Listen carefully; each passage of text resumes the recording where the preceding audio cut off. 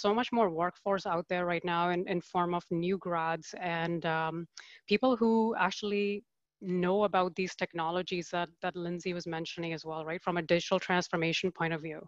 Because these are the, the quote unquote kids that grew up with that technology, with their hands into it.